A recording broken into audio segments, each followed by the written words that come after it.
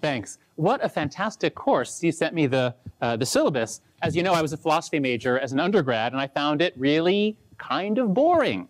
Um, and um, I moved over to psychology because I thought that's where really all, it just felt a lot juicier, a lot of uh, uh, topics that uh, really interested me and that you could actually study. And then along comes Steve in the 90s and he starts saying, why does philosophy have to be boring and divorced from psychology, which it used to be merged with? Uh, and so this class uh, is the result and really philosophy has been changed.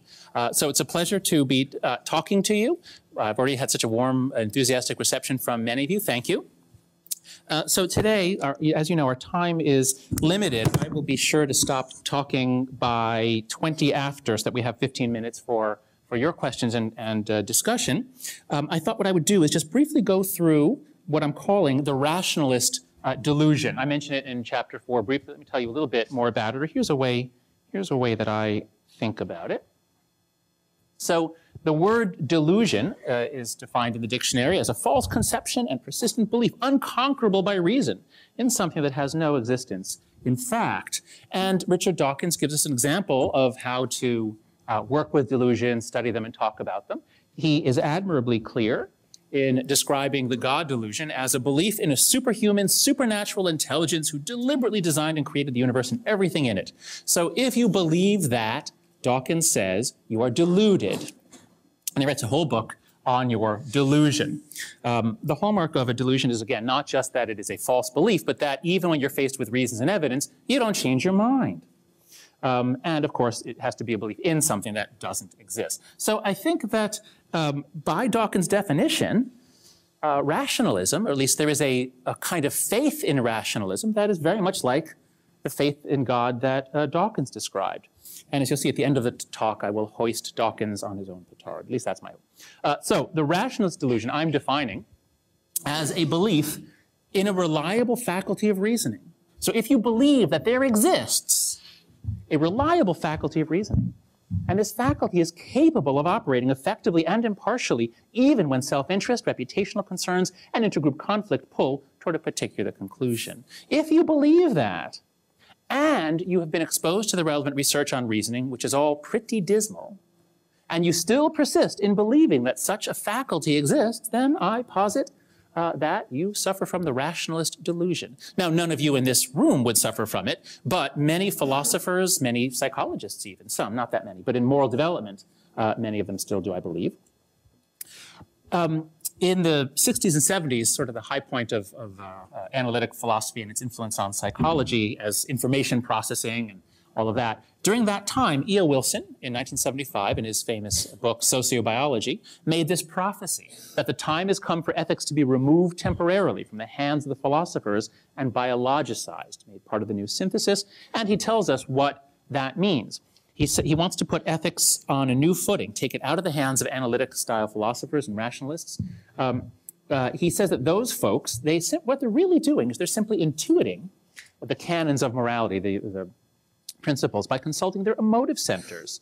Only by interpreting the activity of the emotive centers as a biological adaptation can the meaning of those ethical canons be deciphered. So, of course, that's what uh, my book is about is basically a giant vindication of Wilson's uh, prophecy, I think. I think events have conspired, not, well, events have come together very much as he said. Uh, this is the hardcover, uh, this is the UK edition, which I'm very fond of, but boy, am I glad it's not here in the US. It would have precluded me from talking to many, many audiences. Uh, and this is the paperback, which some of you have. So as you know, uh, the book is structured around three principles. You've already read uh, I guess you were assigned to finish the book for today, so I won't go into details. I'll just show you some illustrations that I think will um, make it more fun, will fit with what you've been reading. Uh, so if we think about these three models of the relation between reason and uh, we can call it emotion is what it used to be, we used to focus on. Um, and one of the oldest ideas in intellectual history is the idea that the mind is divided into parts that sometimes conflict. And wherever you look, east or west, there's sort of an idea that there's some sort of higher, more reasoning area and then some sort of lower, more animal-like uh, uh, uh, faculty. Uh, Plato gives us many metaphors uh, in the um, Timaeus. He uh, says that the gods created mankind, they put reason in those orbs, and orbs had a roll on the ground, so we had, they had to create the bodies. Uh, so that's one metaphor. The other is the Phaedrus. Reason is the charioteer, and the passions, the noble passions, the base passions, are the horses. And if, if a man studies philosophy and learns to control those passions, then he can escape the bondage of reincarnation um, uh, and uh, return to the gods. Now, I think this view, the idea that reason, of course, Plato didn't say that reason is the master in most people, but he said it can be. It is in philosophers, and everyone should strive for it. So he believed it was possible. I think this view of reason has taken quite a beating since the 1990s, certainly from the neuroscientists, uh, who found that when you lose your emotionaries, you don't get hyper-rational. In fact, uh, you either become unable to really think because reasoning actually depends critically on emotion and intuition, uh, or if you're still able to think at all, you become more, more, like a psychopath who simply doesn't have any emotions informing his reasoning. So I think the reason as master view has taken quite a beating, and I'll give it more of a beating. Uh, model two, the idea that reason is a servant. Uh, this is, as you know, the model that, that I endorse, uh, that reason is a great helper, but it simply is not qualified to lead.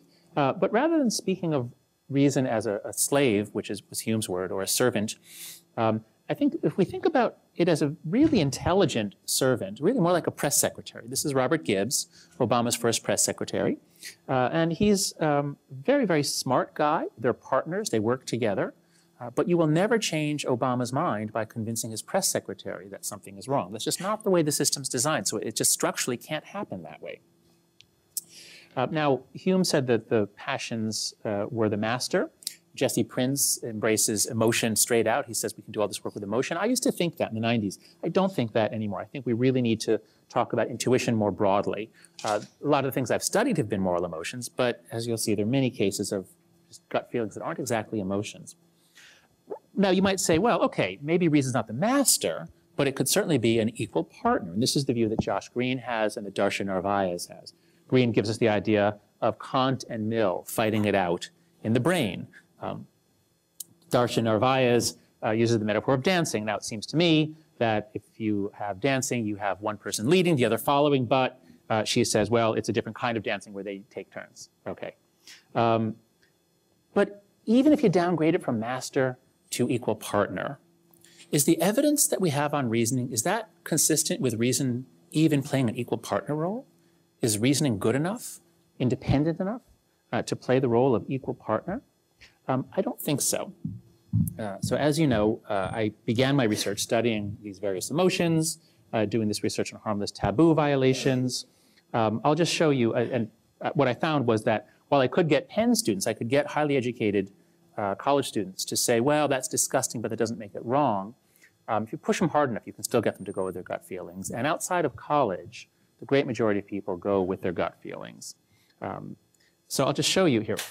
Actually, here, um, this is a different one than, uh, actually, I'm sorry, the same story as is covered in the book. It's the incest story. And uh, you'll, so you know the story, Julie and Mark are sister and brother. This is hidden camera, hidden microphone. Uh, it picked up some sort of transmissions in some Croatian language or something through the ceiling. But anyway, you'll hear, you'll see this guy responding to the story and you'll see the exact moment when he gets dumbfounded. Julie and Mark, who are brother and sister, are traveling together in France. They, they are both on summer vacation from college. One night they are staying alone in a cabin near the beach. They decide that it would be interesting and fun if they tried making love. At the very least, it would be a new experience for each of them. Julie was already taking birth control pills, but Mark uses a condom too, just to be safe. They both enjoy it, but they decide not to do it again. They keep that night as a special secret between them, which makes them feel even closer to each other. So what do you think about this? Was it wrong for them to have sex? Yeah, I do believe it was wrong for them to have sex. Why is that? Um, first, it's forbidden in the Bible. It's uh, socially unacceptable. Personally, I find it just disgusting, repulsive. You know, I have a little sister of my own, and just the whole concept makes me nauseous. Mm-hmm. And uh, I think it's those three right reasons right there. Mm-hmm. Let's look um, one at a time. If um, just because something is repulsive to you, you wouldn't say that always makes it wrong, would you? No, no, I, I wouldn't. But um, in this situation, though, I just, I think for the most part, most people would find it repulsive. And so that's I just really in this case too. I just wouldn't want somebody else to do it. Feel so strongly about it. Um, let me see what else you're saying. The that the the Bible says it's wrong. I'm not too up on it, so I'm not. I can't say argue what the Bible says exactly or not. Well, I'm, I'm not a very devout Christian, but in this case, I I can see I'm just it it makes logical sense. I mean, the consequences of incest have just been known for thousands of years. Birth defects, you know, of that nature. And yeah, I, I believe it is wrong, and it was forbidden. Um, but aren't there uh, like all sorts of things the Bible forbids that we don't think is wrong, even if you're a devout Christian, perhaps? Well, that's true, but in this case too, I, I there's enough scientific evidence that shows you know that there is other consequences to it Mhm. that I believe that there was some you know. I I'm going with the Bible in this case because modern science also proves that it's just a bad move Well, altogether. Oh, sure, yeah. If they're gonna have kids, that would be you know, clearly wrong. But I mean, um, she's on birth control and uses a condom, so there's no way that there's gonna be a kid to come of this. So that, that wouldn't be a problem. I um Here's where he gets dumbfounded. I still don't advocate it Mhm. in the slightest. I think it's just mostly because I, I just think it's repulsive. I mean, um, yeah, I don't know what your, your feelings are on this, but if, uh, I mean, personally, I would find, um, what I'm saying here, I, I would find homosexual sex repulsive. It's nothing that I would want to witness, but I don't say it's wrong because, you know, if people are inclined to that and they're, it's looking more and more like it's, you know, genetic sort of thing I can't say there's anything wrong with it, even though I would find it personally repulsive to watch or something like that, you know. Um, so again, I don't, I don't think just because a person finds something repulsive, you can say it's wrong. You can say I don't want to see it, I don't like it, but you can't say it's wrong just because you find it repulsive. I, I, I agree and I, I respect that opinion, but I'm, I'm afraid I'm, I'm not swaying on this topic. I, I just I just feel too strongly against it altogether. Okay, uh, I respect that opinion, but I'm not swaying on the topic. I just feel too strongly against it. Here's another woman who says, I don't have like a point that says, okay, that's why it's wrong, but it's like a gut thing where I think it's wrong. I mean, you could try to possibly change my mind, but I probably wouldn't. Um, So these sorts of experiences, seeing this over and over again, uh, that it was just very hard to argue people out of their moral convictions, even uh, when the premises that they gave could be completely refuted, even to their satisfaction. So this led me to uh, upgrade or update Hume's model into what I call the social intuitionist models. This is the basic Humean process right there, but I made it more social by adding in the other person. Moral judgment doesn't just happen in your head like color perception. It's, it's a social thing. We gossip, we argue, we prepare for arguing. Um, and because um, we are at least capable of uh, changing our minds, it, it, lots of people would insist to me that they'd done it before. Uh, and so I put it in as at least a dashed line. We all have the perception that we've done. I don't doubt that we sometimes do. Uh, and some people do it more than others. Some people actually do have weaker emotions and stronger reasoning. Uh, philosophers, for example. So sometimes it can happen that you simply reason your way to a conclusion just because of the evidence. But I, if you think about the number of times you make a snap judgment uh, as you're walking on campus, as you're driving your car, I mean, it's dozens or hundreds of times a day. How many of you can think of a time in the last week when you changed your mind on a moral issue by just or judgment of someone just by thinking through the evidence? Raise your hand. Okay, a few of you can think of a time in the last week. How many of you can think of a time when you judged someone in the last uh, in the last day, for any reason whatsoever? Okay, so we make lots and lots of judgments, and they're almost all snap, rapid uh, judgments that don't involve a lot of reflection. I just want to point out that four of the six links in the model are actually kinds of reasoning. Uh, people often set things up. Um, everyone likes a nice dichotomy, and so uh, you know they say, well, Haidt says that it's all emotion, not cognition. Um, and my response is, no, it's all cognition. It's just they're different kinds of cognitions. There's reasoning cognition, there's intuitive cognition. Um, in terms of more, direct experimental evidence, I won't go into the hypnosis study. You read about that in the book. I'll just show you the data. You know, the, we hypnotize people to feel a flash of disgust at uh, the words take versus off in just two arbitrary words. Here's the data. Um, the, as a manipulation check, when people were asked to judge how disgusting a story was, uh, they, the red is, is the uh, average rating on stories with hypnotic disgust, so much more disgusting on a scale of 0 to 100 um, if there was disgust. They discounted that somewhat, so when they made moral judgments, it wasn't as big as their disgust difference, but they still said that things were more wrong if they felt a little flash of something in, uh, while they were judging. Um, and then the most fun thing, this thing we tagged, tagged on at the end, tacked on at the end uh, about a Dan who tries to take topics that will appeal to professors and students. Uh, when there's no disgust present, this is a frequency plot, when there's no disgust present, everybody aimed for the left edge of the paper. Nobody said it was wrong.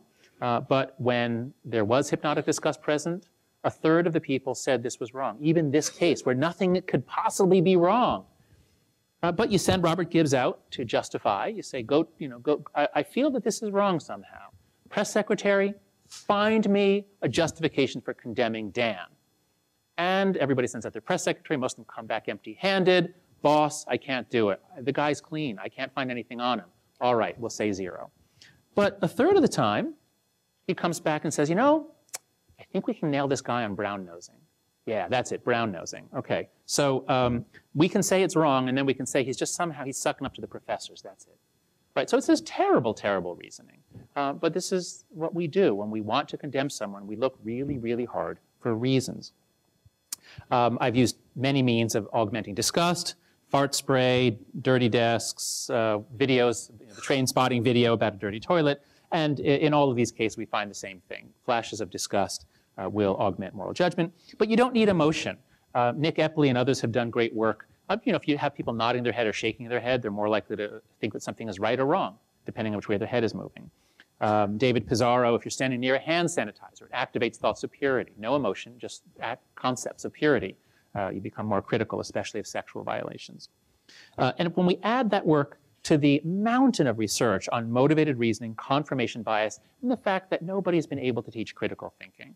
Um, there's a little bit of progress, you know, if you take a statistics class, uh, you'll, you'll change your thinking a little bit. But if you try to train people to look for evidence on the other side, it can't be done. It, it shouldn't be hard, but nobody can do it. And they've been working on this for decades now. At a certain point, you have to just say, might you be searching for Atlantis and Atlantis doesn't exist? Um, the, um, uh, the, famous article, the, the, Argumentative Theory of Reasoning, uh, Mercier and Sperber, they say that skilled arguers are not after the truth, but after arguments supporting their views. So if you put all that together, I, I think this principle is now pretty clear. It's not that we don't reason, it's that intuitions come first, and intuition then structures the space in which we do our reasoning. Um, if you think that people can, you can say, okay, now jury, please look on both sides equally, and then reach your verdict. We're not capable of doing that as individuals. On to the second point, there's more to morality than harm and fairness. Um, you know, when, so in the Middle Age, in the um, Enlightenment, as God was no longer available to philosophers as the, to some philosophers, as the grounding for morality, and uh, philosophers had to find some other way to justify saying that something is wrong or, or imposing regulations on people. There are really only two anchors that they seem to find. Either you can ground things in harm and suffering, that it's wrong to hurt people. Um, and of course, Bentham uh, was the first to do this really systematically, and John Stuart Mill, and more recently Peter Singer. So there's a, a, a monism. It's very, very popular in the academy. There's sort of the idea that if you can explain something complex with just one principle, you win a prize. I mean, that's, that's real progress. And of course, since Newton, that has been progress in the natural sciences. Um, the, other, the other possible candidate is fairness or justice. Uh, as Lawrence Kohlberg wrote, virtue is ultimately one, not many, and it's always the same ideal form, regardless of climate or culture. The name of this ideal form is justice. This is so much of the history of moral philosophy. Uh, you know, it's, it's uh, you know, I'm a Kantian, I'm a, a, a, a Millian, you know, utilitarian, deontologist. Uh, just goes back and forth and back and forth on whose monism is, is the proper one, whose one principle. Um, I, this is to, this is sort of heretical to say in the sciences, but I, I'm opposed to the pursuit of parsimony. Um, I think it's not something that psychologists should be searching for. I take Occam very literally, uh, that you should, um, that if two explanations are both equally good, well, sure, then go with the simpler. But in the history of my field, the history of psychology, the philosophy has been if you can possibly explain something with one principle, just do it, because that's better. Well, whoever designed human beings, namely evolution, but whoever designed human beings didn't give a damn about parsimony. We are not parsimonious creatures. And I think that these efforts to justify our this incredibly complicated facility that we have to rest it all on a single foundation are just doomed to failure. Um, I really came to see this when I was working with Richard Shweder, the anthropologist at the University of Chicago. Um, and as you know, from trying to review, trying, trying to make sense of, you know, cultural psychology is so clearly right and evolutionary psychology is so clearly right, um, came to believe that there are six best candidates for being the bridges between uh, these two fields, six uh, areas where you can really easily point to a clear evolutionary story that you didn't make up yourself. Um, so issues of care and harm, uh, fairness and cheating, um, uh, you know, Trivers reciprocal altruism, all of that, uh, liberty and oppression, um, well, I'll skip that, loyalty, and betrayal. Uh, we're the only creatures that are able to form groups that are not based on kin uh, in order to compete with other groups. We love it so much that we invented fandom. Um, uh, authority and subversion, I mean, we, we show deference in some ethologically similar ways, behaviorally similar ways. It would be rather weird to say that some, somehow authority was something that we just made up culturally. We, we were not designed to show it like all the other primates. Um, and finally, sanctity and degradation. Uh, of course, it's, it's clearest in religious contexts, but you find some sanctity thinking on the left as well. When you're talking about sexuality, uh, there's a big, big culture war. Um, uh, so, of course, you find it in, in, in Islam, in, in uh, Judaism, the idea of, of somehow you need to prepare your body for contact with God uh, that we are animals, but we're also children of God, and you have to prepare your body uh, to, um, to engage in these uh, in religious functions. Uh, so at yourmorals.org, there was a version of this graph uh, in the in the paper. It's a little different. The one I have in the book is a little different. Uh, but the ba basic finding, as you know, is that people on the left endorse only three of the six, and even there they put care above all else. Um, and people on the right endorse all six, really roughly equally. And they don't say, oh, well, our top priority is to, is to protect suffering. So, you know, almost every cultural issue, I think, can, is illuminated by this simple graph. You know, gun control. I mean, people are getting killed, children are getting killed. That's all you need to know. Um, we might, we've got to get rid of guns or limit them severely. Uh, but on the right, there are issues of, uh, of uh, liberty, um, uh, self-protection, proportionality, rights. Uh, so on the left, if you, I, I, when I first got to New York two years ago, Occupy Wall Street was just starting up, and uh, there were so many signs about compassion, empathy. I just got this cartoon by email, um, equality to a conservative versus equality. This, this is so revealing about the last election. So obviously the cartoonist is, is politically liberal, and uh, he thinks that equality to conservative is fine, let everybody, everybody has their box. This guy can see, this kid can't, tough luck, they're all equal. Whereas to a liberal, liberal says, well, he doesn't need his box. So why don't we take it from him, give it to him, and now everyone's equal. And obviously that justifies very heavily redistributive, redistributive taxation. Rich people don't need all that money when there are hungry people around. So take it from the rich people, give it to the poor people. That would be, uh, that would be fair according to people on the left. Um, but on the left, there is a rather often a, a really visceral rejection of authority, loyalty, group loyalty, and sanctity. Um, this is about as sacrilegious as one can get in terms of the sort of the national religion of uh, the troops that are risking their lives for the country are, um, it's a, it's a quasi-religious act. The services are a quasi-religious branch of the government. And so to say, fuck the troops is uh, as sacrilegious as can be, even if most people on the left don't think this, some do, and people on the right flat, uh, send these sorts of images all around to stoke outrage um, sanctity and purity concerns. Uh, this is a very different view of female chastity. This is Madonna from Madonna's book, Sex. Uh, and uh, this bumper sticker, I think this was in the book. Your body may be a temple, but mine's an amusement park. Uh, the subtext being, you stupid, prudish conservatives. I took this photo at Occupy Wall Street. I have no idea what it means. But you could never, ever see a sign that says nothing is sacred at a conservative function. It just couldn't happen. Um, uh, so I think this is why liberals are more enticed by, uh, by monism. Because if, you're, if you only have three ethics to begin with, and one of them is clearly preeminent, well, utilitarianism just jumps out at you. It's the obviously correct uh, moral theory. All right, that's all I'll say about principle number two. Okay, we're doing fine on time. We'll have plenty of time for discussion. Uh, principle three, morality binds and blinds. Um, so, you know, people often ask me about, well, you know, the world's going to hell and, and there's all this war and corruption. And I, you know, I, say, well, I, actually have very low standards. Um, I, it's, a, you know, you look out at the world and, and you think about evolution and, and it's, it's an absolute miracle that we cooperate at all. Um, I mean, there's almost no violence. Um, there, you know, I couldn't say that 20, 30 years ago when everybody knew someone who'd been mugged recently, but um, that was a temporary thing caused by leaded gas. Um, violence has been plummeting for millennia, as Steve Pinker has shown. There was a temporary surge. You know, this, this is the, I mentioned in the book, it turns out there's a, uh, there's a recent article in The Atlantic with more scholarship on this. Um, it was basically we, um, leaded gas was uh, so prevalent in the atmosphere. Uh, I just had lunch the other day with one of the lawyers for the EPA who got this through the ban through in the 70s. Um, leaded gas, so we're pumping hundreds of millions of tons of lead up into the air. It's coming down all over the country.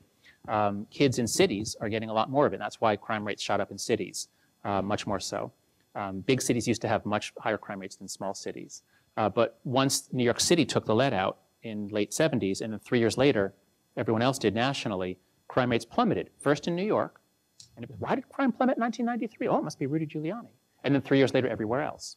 So um, it turns out it was that. Anyway, it's a little aside. I just love this. I, I'm, I live in New York now, and it's unbelievably safe. There are no cops, no crime, nothing. Everything's fine. And I grew up in New York, and it wasn't like that. So I'm sorry, I'm just still amazed at how our world has been transformed by taking lead out in the 70s. All right, back to our story. Um, uh, it's amazing that we can cooperate and there's almost no violence. Um, the only other animals that can do that are the Hymenoptera uh, and also termites, things like that.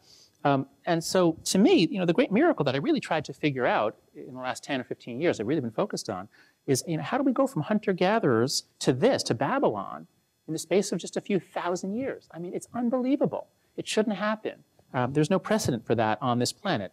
Well, there is precedent in the Hymenoptera and other ultrasocial animals, but, but not for creatures that are not kin. Um, but you know, bang, we get Babylon, we get Tenochtitlan. I mean, how did this happen? And I believe a big part of the story is our ability to make things sacred. Um, we, uh, if you all around the world, people express their religious feelings in somewhat similar ways. They tend to circle around sacred objects, literally circle. Um, these are Muslims circling the Kaaba at Mecca. And when you circle, it's as though you pass a wire through a magnetic field and you generate electricity, you generate an electric charge. Durkheim used the metaphors of electricity, uh, collective effervescence, when groups get together like this. Uh, it's not just religion. The flag is a quasi is a sacred symbol of the nation. It's the same psychology. Nationalism and religion involve much of the same psychology. Um, and this allows these men to circle around it and bond together and trust each other. But when we circle around sacred objects uh, and we generate this electrical charge, this metaphorical electrical charge, it's as though it, it, it splits apart good and evil. We, we see the world in terms of good and evil, and we're good, they're evil. Uh, it's very difficult to get people to listen to reason when you have this sort of thing going on, which we all do. I just want to point out that once you take this perspective, that humans have this unique way of getting groups together, making them cohesive, and for what purpose? Why is it important to have a cohesive group? Right, to fight other groups. Because our ancestors have been fighting each other and cooperating too. But we've had this dynamic of intergroup competition uh, has been going on for uh, a couple hundred thousand years at least, and to, in some ways for millions of years. Um, so once you see human groups as competing, and, and, competing in part on their ability to become cohesive and to form communities of trust, um, well, suddenly it's kind of obvious that we evolved by multi-level selection, including group selection.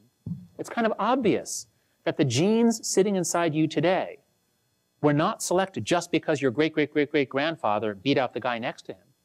It's because your great, great, great, great, great, great, et cetera, et cetera, you know, grandparents and their community survived the famine or survived the war when the group next to them didn't. That's why the genes we have in us are here, because of selection at multiple levels. And once you see it that way, then you actually, then you, it's easy to see how religion was an adaptation, which of course the new atheists are committed to doubting. They cannot grant that religion was an adaptation, because if it was an adaptation, then we can't just rip it out. If it's a virus, then obviously we have to rip it out. Now, I, have had some dealings with the, the new atheists, um, and it's always been rather unpleasant. Uh, and what I've come to see is that they you know, they deny religion, but actually they, they show all the same um, psychology of religion that religious people do. Lots of people have pointed that out, but I want to specifically add that what they sacralize is reason. You know, if you sacralize Jesus Christ, or you sacralize some ancestor, you know, that binds your group together, and you might say, well, other, other people are infidels, but that's not really so insulting. If you sacralize reason, then what are your enemies? They're irrational, they're stupid. Um, so this is the Richard Dawkins Foundation for Reason and Science. We are liberated by calculation and reason to visit regions of possibility that had once seemed out of bounds or inhabited by dragons. This is the rationalist delusion. This is what Plato believed. Reason is our highest attribute. It works beautifully if we can just rip uh, religion out, and if we can just let teach everybody to reason, uh, then we'll be fine. Um, this is Sam Harris's Project Reason, Spreading Science and Secular Values. We're going to encourage critical thinking and erode the influence of dogmatism, superstition, and bigotry. Um, so it would be interesting to know whether they themselves have been successful in their critical thinking and whether they've eliminated dogmatism from their own thinking. That would be very interesting to know. Um, here's another one of these guys, uh, Massimo Pigliucci. Uh, at the, uh, the header of his blog, he, he says, um, uh, rationally, you know, rationally speaking, he calls the blog rationally speaking. Uh, he, he, worship, he thinks that it, we should all be uh, someone who devotes himself to the tracking down of prejudices.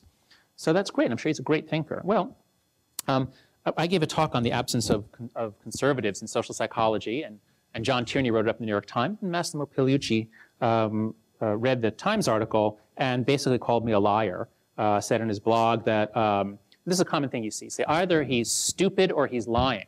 Well, I know he's not stupid, so he must be lying. Um, so he did, uh, now he didn't, now, so Pigliucci says all these bad things about me without actually watching the talk. The talk was available online. Tierney had a link to it. Um, didn't watch the talk. And I challenged him on that. I said, well, did you watch the talk?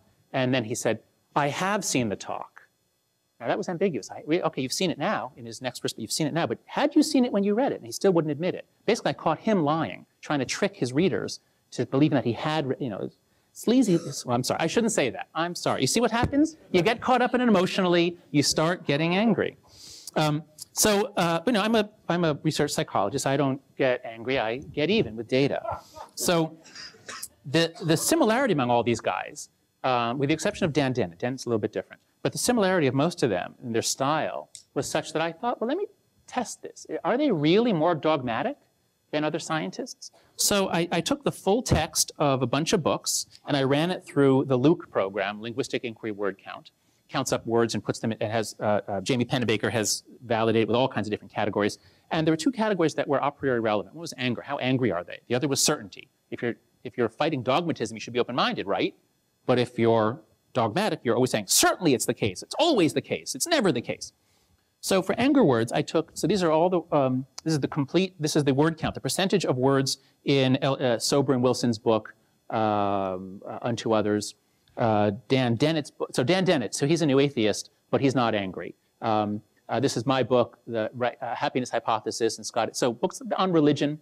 Um, uh, the, the anger rate in those books is relatively low. Um, but now here we have Harris and Dawkins, much higher and especially Harris. So that validates what we know. When you read it, that's what you hear. And just for fun, I thought, well, where would you put Glenn Beck and, and Ann Coulter um, and, and, Michael Sandel? And the answer is uh, that, the, that uh, Harris and Dawkins nestle right in among the right-wing uh, ideologues. So uh, their claim to be so open-minded, non-dogmatic is not doing so well. Let's look at the certainty category. Uh, and here the effect is even starker. And here actually Dennett joins the new atheists, because he too uses these formulations. Certainly it is the case. It must be the case. It is always the case. That's not the way scientists talk, but that's the way ideologues talk. That's the way moralists talk. That's what our righteous minds do. So, to conclude, morality, uh, oh, we've got plenty of time. Morality binds and blinds. Um, I hope I've convinced you that this idea that reason is our most noble attribute, that if we could just learn to do it right, we can then escape all these biases and corruption. I hope I've convinced you that this is a delusion. Uh, no matter how many courses you take on rational thinking and good thinking, um, well, it's possible that some individuals will make progress, but if you do it on a large scale, you won't, you don't, just don't get any progress. Um, so I, it's a delusion, but I'm not just saying let's throw up our hands in the air and say, okay, we're irrational, so what? Um, there is an alternative, and it's intuitionism. Um, sometimes intuition on its own beats reasoning, even within a single individual. If you're trying to decide uh, which poster you like or, or, or a variety of, of, of, consumer decisions, where when people are encouraged to think about it and list reasons, they're then less happy with their choice. So sometimes intuition is actually better. But for difficult things, for public policy uh, uh, things, it, it's not. It's definitely not. You, you don't want to just tell people, oh, scientists say that reason doesn't work, so go ahead, Congress, just legislate like you feel. You know, that's, that's terrible. Um, I mean, it could even be worse than what they presently do, and that would be pretty bad. Um, my point is that each of us as individuals is limited like a neuron. Neurons are not very smart on their own. Uh, they do one thing and they do it well. Humans do one thing very, very well. We're really, really good at finding evidence um, to support what we want to believe, and we're also, and related to that, at finding evidence to disconfirm what others want to believe. Um, so each of us is a neuron. Neurons are not that smart. Uh, but if you put us together in the right ways, then you get a brain. Brains are really, really smart. Um, and so we need each other to think. We need each other to challenge our reasoning. And this is one of the reasons why we need diversity, particularly ideological diversity, intellectual diversity. Um, uh, we don't have that anymore. I'm just finishing a paper now showing that uh, in the 20th century there was some ideological diversity in the academy. It was always predominantly liberal, uh, but there were um, 10, 20% were conservatives or Republicans until the 90s. And then it drops to about 10% overall. And in my field, it's only 5 or 6%. Um, of tenured faculty, it's probably much lower than that. Essentially, they're in the closet. Um, in fact, I mean, I'll just, I'm curious. I'd like to know what the composition is here. Uh, please raise your hand if you would say you are liberal or on the left. Raise your hand high right now. Okay. Please raise your hand high if you'd say you're conservative or on the right. One, two, three, four, five, six, seven, eight, nine, ten, eleven. Okay, that's actually pretty good. That's much more so than most places in the academic world. Um, now, I saw some of those hands I had, I could see, but you couldn't because they were like this. Um, there is um, um there is a lot of um, well, there's a hostile climate in the in the academic world for conservatives, um, and if you value diversity because it helps us think, this is the most important kind of diversity that there is. Anyway, so Wilson's prophecy, I believe, has come true. Wilson was absolutely right. Uh, the, the, analytic philosophers had botched morality, I believe. Uh, they were basically arguing about how many angels can sit on the head of a pin when there aren't any angels. Um, and now that it's been made an empirical study, I think we're making really rapid progress, and one in which philosophers and psychologists are working together. Uh, so I think where we are is that in the 70s, there, uh, 70s through the 90s, there was a kind of a consensus that the, the key to studying morality is studying reasoning, uh, that you can ground morality in one, on one pillar, uh, and philosophy and psychology were the main disciplines working together. Uh, but now the new synthesis is here, and now the dominant process is widely seen to be something like intuition. Um, many people are moving towards a more pluralist perspective, which is much more welcoming for cultural diversity and political diversity. Uh, philosophy is still involved, but the action has really come from the linkage between psychology and neuroscience. That's what really energized things beginning in the 90s uh, with Damasio and Josh, and Josh Greene and, and many others nowadays. Uh, but it really is a new synthesis, as Wilson said. That is, all the branches are coming together and, and we read each other's work. And you go to a conference on morality nowadays, everybody knows a little bit about psychopaths and bonobos and babies looking at you know, uh, cars going up hills. And we have a kind of a common knowledge base across many, many disciplines. And it's really, it's a very exciting time. Um, so I'll stop there. I'll just leave these if you want. Uh, I hope we can talk about normative implications. So let's, we'll start with just general questions that you might have about the book. Um, and then if anybody wants to ask about or talk about normative Im implications, I think these are, are some of them. Um, so let us talk. Thank you.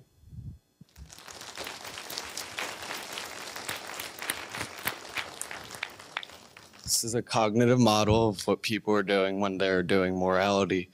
Um, so what are normative ethicists doing? Are they, you know, is Temkin sitting in his office just doing nonsense right now? Um. I guess. And do you, I guess, do you think that these ethicists, these normative ethicists, actually believe uh, their own normative theories? I mean, there's evidence from Schwitzgebel that they really don't. Wait, wait. Schwitzgebel has evidence that they don't believe don't believe their normative theories or don't well, act that they on don't them. act on right, them. Right. And I mean, I guess that's what I'm saying. Uh, do they actually, you know, hold these normative theories for themselves? Right. Great, great questions. So I spent, uh, spent a year at Princeton at the Center for Human Values.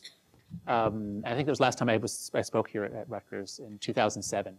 And I, I, I was hoping, I, mean, I, have, I have such a strong sense that there are major applications and implications of empirical research for normative ethics.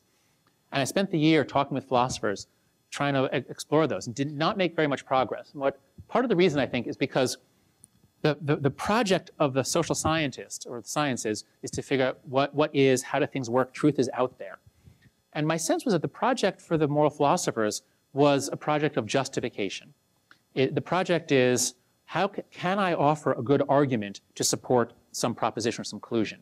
And it becomes kind of like a game. And there are communities. And so there are communities that organize around one proposition, that ultimately harm is what matters. There are others that organize around another proposition that we have these rights you see. And um, so if you look at the community of philosophers as an anthropologist would or a sociologist of science, you see them as communities that are developing questions of interest, topics of interest, and there are challenges. You know, like who can solve Fermat-last theorem? Who can justify utilitarianism? Who can um, uh, justify equality of the sexes? There are all sorts of things for which one could give an argument. And arguments have to have some sort of premise.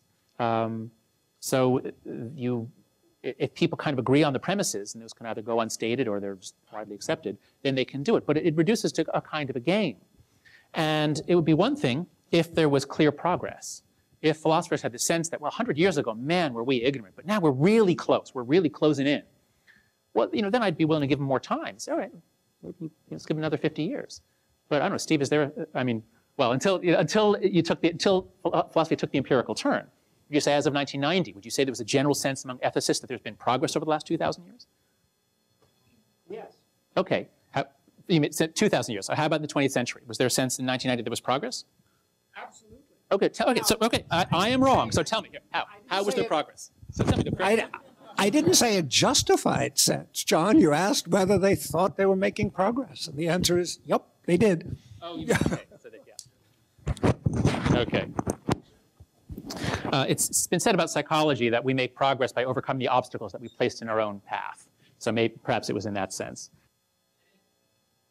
Uh, at any rate, um, so yeah, philosophers are playing a, a, a different game, and uh, it also should be said that they are different from other people. They are higher on rationality, they're better reasoners, and they're lower on emotionality. Um, so they're often not very good models for the rest of us. And then given the Schwitzgebel finding that they're not different from us, I think that's pretty damning uh, as to whether knowing the good will make you do the good. Okay, other questions? Okay, just come on, come on up. Come on, you all, you all must have some questions. Come on up.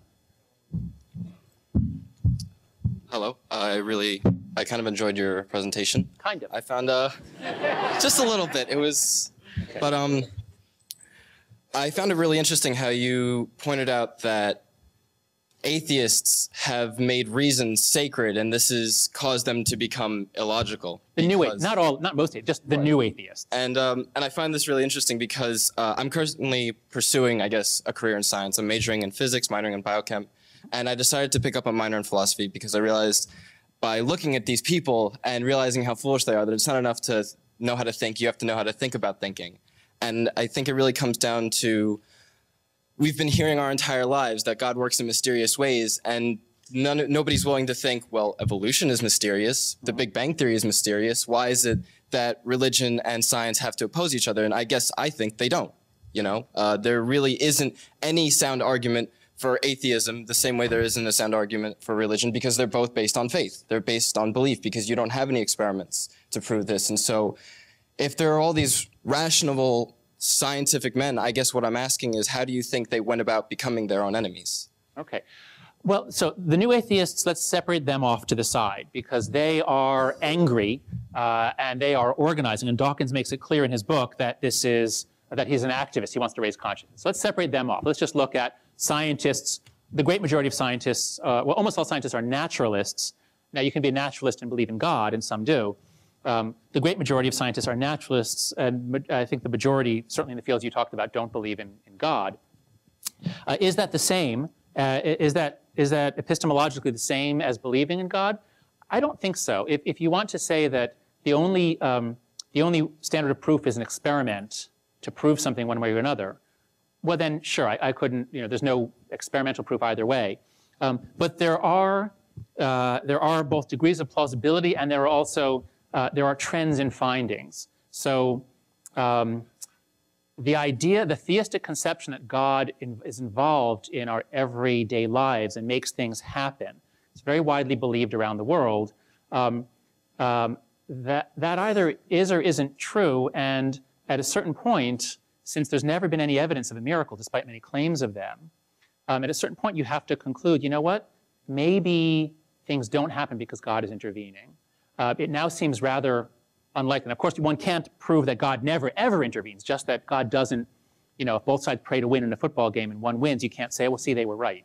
Um, so I really don't think that, I really don't think that the community of science, so what's miraculous about science is not that scientists are so smart. There are smart people in, in, in every profession. What's miraculous about science is that it's an institution that you put people together to challenge each other's reasons and truth emerges.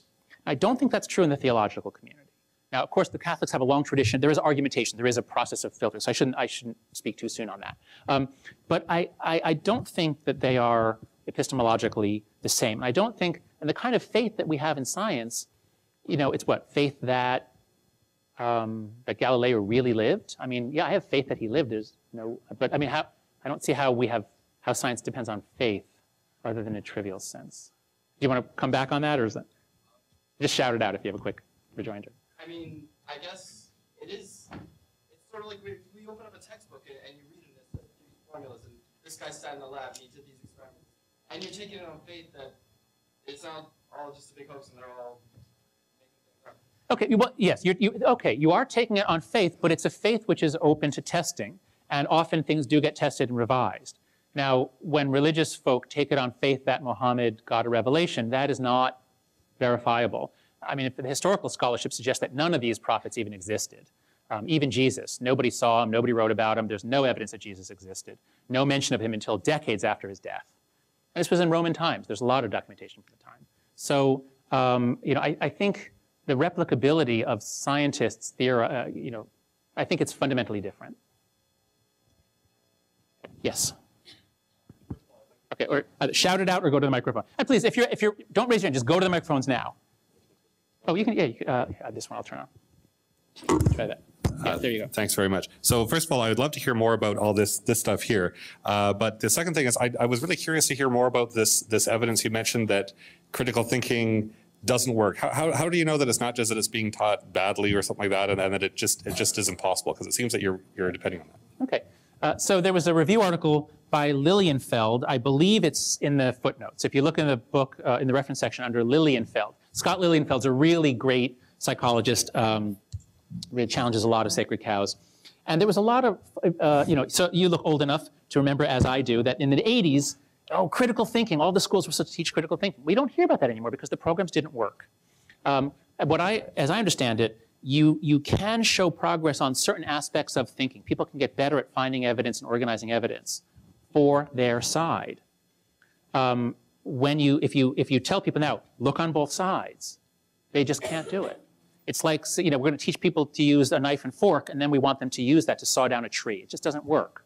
So uh, it, it, could still happen. Someone might still find it. Now, I think if somebody would say, you know, I think we could possibly do critical thinking by saying, okay, human reasoning is designed for this purpose. It doesn't work for other purposes. If you want to do critical thinking, here's what you do. Find somebody who disagrees with you. Sit down, get to know each other, have a few meals together, trust each other. Over time, that person will be able to critique you. And now, a year from now, let's talk and, and see if you consult that person for help.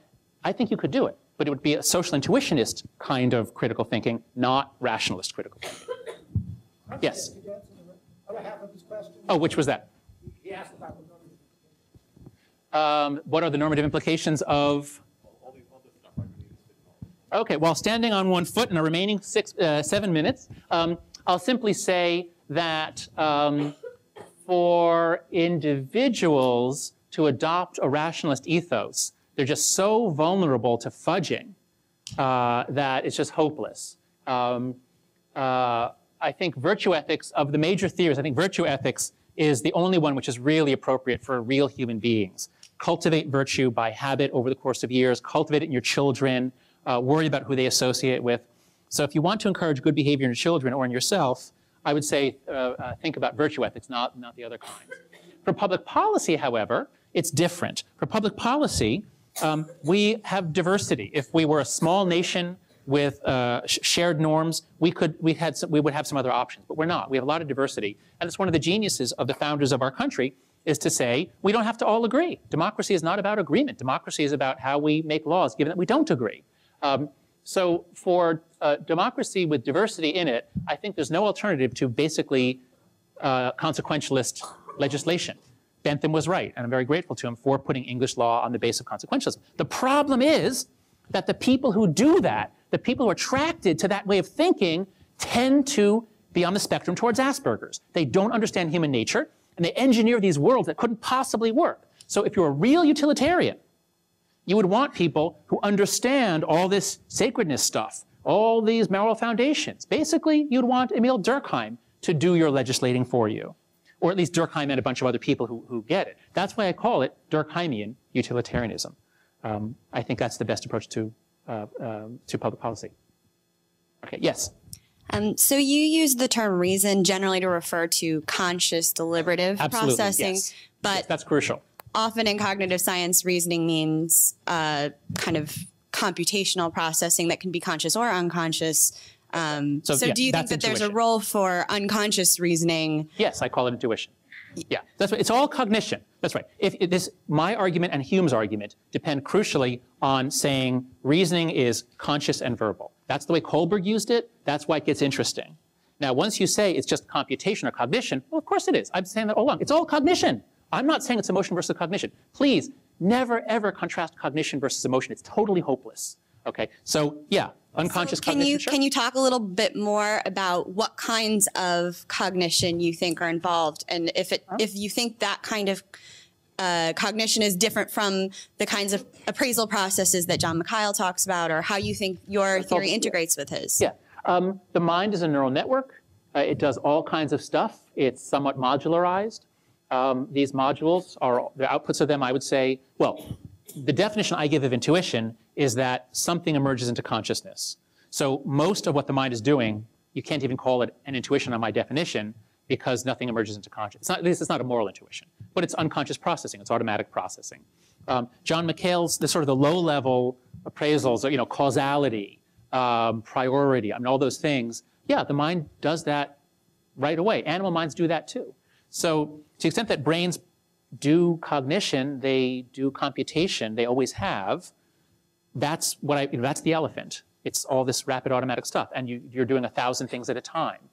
Um, it's, but that's not what Plato meant. That's not what Kohlberg meant by reasoning. Um, in another one of your talks, you mentioned that we should be more open to using the like whole five moral pillars.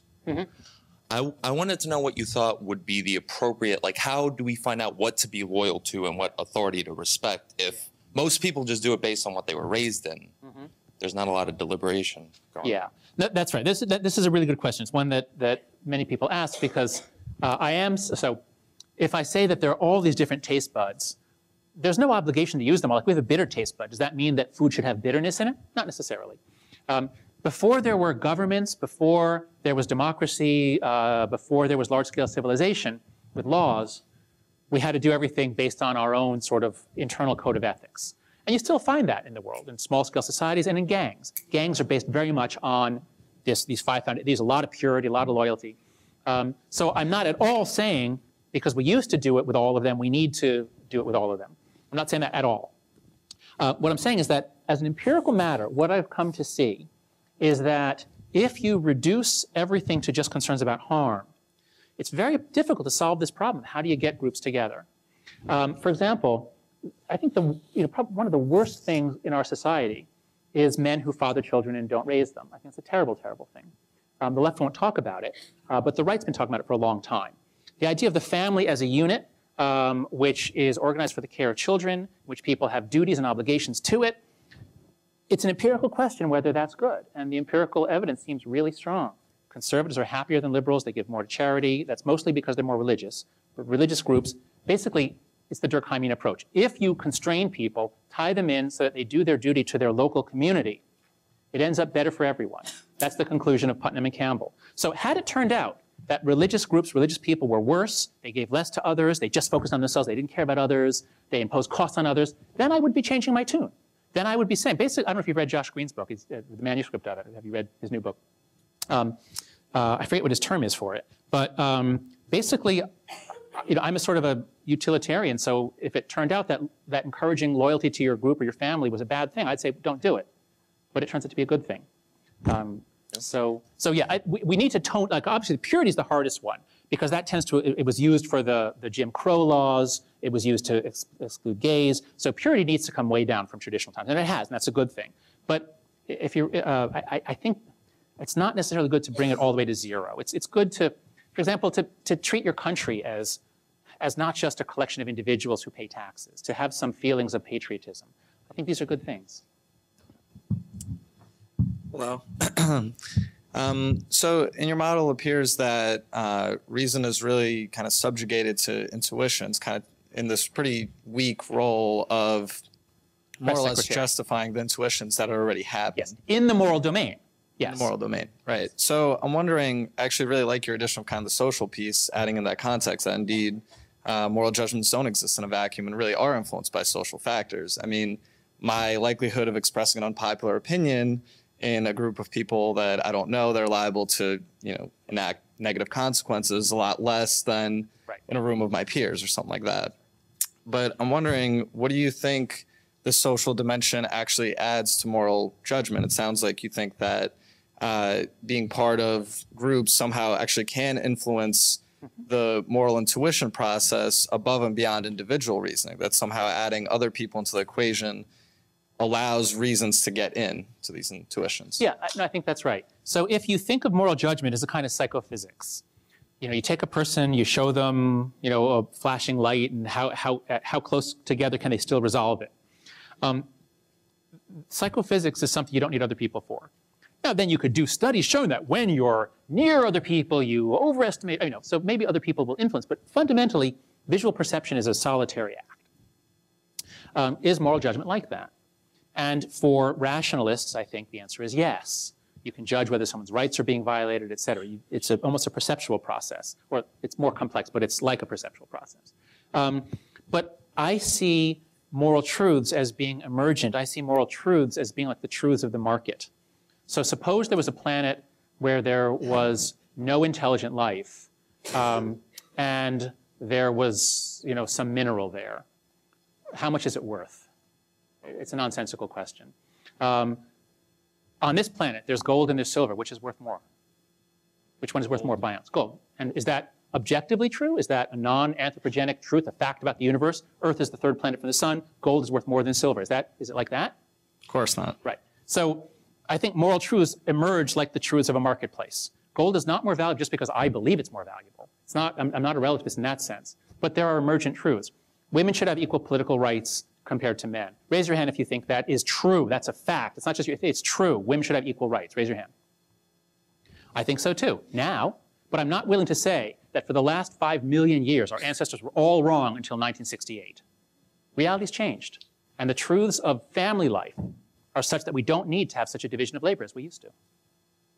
That's, my, that's the way I think about truth, moral truth. So now, does that lead you to moral relativism? No, it leads me to emergentism. Now, if you're hardcore realist, then yes, I'm a relativist. I'll accept that. But it's but usually hardcore realists want to say that relativists say if it feels good, do it. It's up to you. Everybody has their own ethics. No, we don't have our own ethics anywhere. We have our own language. I can't make up my own language, and I can't make up my own, my own ethics. Um, so there's a kind of reality to normative facts, but it's the kind. It's just like gold is worth more than silver. That is a true statement. Okay. Thank you. Thank you. Hello. So uh, I'm going to tackle the for science, it's the need for ideological diversity. You say that um, it needs to be more than race and gender, which seems to me to be kind of like um, establishing more than just someone's background, but really about the ideas that they can bring to the table. That's right. And- that's why that's why diversity is valuable. That's so, correct. so my question is, what would be a model where you would maximize how much ideological diversity you would have? Because you you just demonstrated it through uh, a polit- uh, political lens, where whether people identified as left and liberal or right and conservative, which I think is, in in my experience, I learned my political like ideology ideologies from my father who learned from his father. So they're not really completely unique to me, and I might not offer anything from that perspective that's no one else in the room could. So if we're looking to find ideas that are of value and that could really kind of motivate us to, to reach some kind of new understanding, what system best promotes that? Um, well, the research on the value of diversity is amazingly thin. Uh, everyone in the academy is so gung-ho about diversity, but the demonstrations that diversity actually makes groups think better, work better, be more creative is very thin. And the extent that it, it does uh, sometimes do that is because you bring people who come from different backgrounds. Like one guy is from accounting, another, another woman is from sales, and you get them together in the company, and the diversity of perspectives, they bring something else. Uh, that makes them more productive. Um, the idea that simply because you have racial diversity in a room that's going to make people think better is not really true. Um, now, as for when is it useful, if the goal of a group is cohesion, then you don't want diversity. So if you're the US military, you do not want diversity. Now, the military has been great at making racial diversity not matter. You want everybody to think the same. Well, I shouldn't say that. You want people to have a sense that they're all one, and it's not particularly valuable to have diversity in the military. And they've been great at making racial diversity not, and gender not matter. Um, but if the goal is finding truth, if you're an academic group, suppose you're the Defense Intelligence Agency, do you want all hardcore hawkish Republicans in the Defense Intelligence Agency if their goal is to find truth? Abs, that'd be terrible. And that's what I think George Bush kind of did. Um, and the same with, the, so if the goal of groups is to find truth, then you don't want too much cohesion. You actually want people to challenge. Um, there's a, a, a, George Will has a line, uh, in the academy, they want diversity in everything except thought. And he's right. We actively discriminate against admitting people who think differently, and we incredibly, we discriminate really heavily in favor of racial diversity. So what would be a way to maximize that? How would you go about finding these people to create a collective that'd be worthy of that? Oh, you mean in the sciences? Yeah, and well, in anything yeah. rather. Well, well, so I'm writing a paper on that right now. And what we did was we just looked at the APA, the American Psychological Association. They have a list of, of they have a, lots of documents on diversity. We just looked at their recommendations. Here's how you create diversity. First, you know, you have groups that study where people are being excluded. We just changed uh, race to uh, ideology. A lot of them work great. So what, what would be some example ideologies that you would be using to mark these people? Because oh, oh before, oh, before it was described as political, which yeah, I'm, that's the main I'm one under the impression no, is not that's enough. The main, that's the most important one because the, the academic world nowadays is not, it does want to find truth, but its sacred value, I believe, is fighting racism. That's the most sacred value in many departments, especially in the humanities and, and sociology and anthro. So if, if the group is binding and blinding around fighting racism, the most important thing is to break that up, to have some non-liberals there who will say, wait, but look at the evidence here. All right, take it. Okay. Okay. And actually, I have to go. So, okay. okay. Very last question. Quick answer while I'm packing up, and then I got to run. Um, when it comes to the moral foundations and how, like, while reading the book, which I loved, uh, the interrelatedness of the foundations, would you say that's a fair statement? Because, uh, like, how interrelated the different mm -hmm. foundations are? Yeah. Because you're talking about how conservatives tend to have a more balanced approach so would you say, say, for example, pro-lifers, they have a care for the unborn purely because of the sanctity of life in view with their religious beliefs? Or how would you go about? Would you say that they're individually motivated for each foundation or that there is a connection amongst them all? Right. So you can't take uh, people's justifications at face value. Um, we did a study at Your Morals. It's on our website. It's at uh, moralfoundations.org. We did a study where we looked at people's cultural or attitudes, and we have other moral foundation scores. It turns out that your scores on care don't predict your views on abortion. What predicts is sanctity. Abortion, it's not that conservatives care for children more than liberals. That's not true. It's that conservatives see the world as not just material. So liberals say, well, if it's not conscious, then it's not a life. There's no nothing wrong with an abortion at five months. Um, so, so, the difference is uh, is not based on care; it's based on sanctity. Um, secondly, the the foundations do sometimes the relationship is generally that uh, uh, loyalty and authority are those tend to go together very tightly. Um, sanctity is off to the side, and then care and equality go together, but care and proportionality don't. So there are lots of interrelations among the foundations. Um, it's not that conservatives have a more balanced view necessarily. It's just that they uh, perceive moral radiation uh, or moral flavors that liberals sometimes don't. And there are times when I think those are useful from a Durkheimian utilitarian point of view, such as respect for teachers' authority. Um, there's a book, Judging School Discipline, when liberals pushed to allow students to sue teachers and schools in the 60s, they thought they were fighting for the victims, but in fact, they, it sowed chaos in poor school districts. So authority has some uses, that sort of thing. Okay, thanks everyone. Good luck with the rest of the class.